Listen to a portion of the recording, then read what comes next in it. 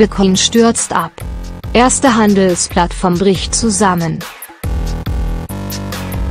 Netz minus und plötzlich geht die Kurve abwärts. Die sonst so gefeierte Kryptowährung Bitcoin unterliegt gerade mächtigen Turbulenzen.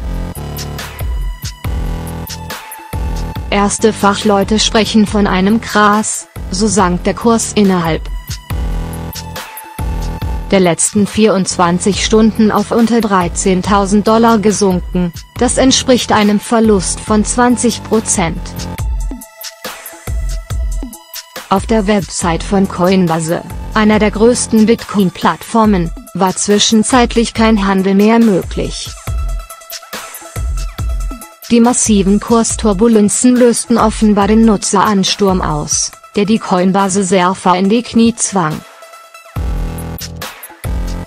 Zuvor hatte Coinbase seine Nutzer in Deutschland darauf hingewiesen,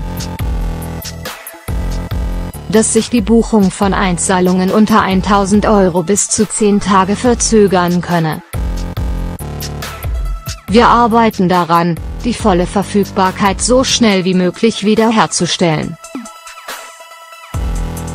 Hieß es im Status-Update auf der Coinbase-Webseite. Inzwischen sei der Handel laut Coinbase aber wieder möglich.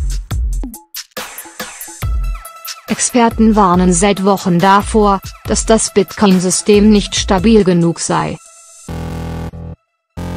Käme es plötzlich zu etlichen Auszahlungen, würde das System zusammenbrechen. Das echte Geld sei schließlich nicht in der Menge verfügbar. Der Bitcoin erlebte zuletzt einen massiven Auftrieb.